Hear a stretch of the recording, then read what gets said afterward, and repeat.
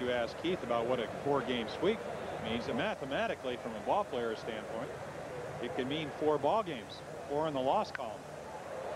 Mitchell hits a high drive to left field and deep, and that one will carry out of here.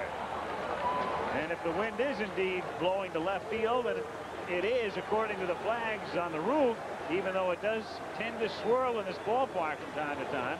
But that one got up in the jet stream, and out it goes to tie it. Mitchell.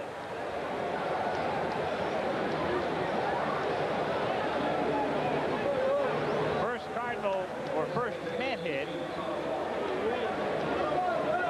First base runner for the Mets, and the first home run of his career. Really looks like a fly ball off. Of course, they talked about some of the home runs Friday night.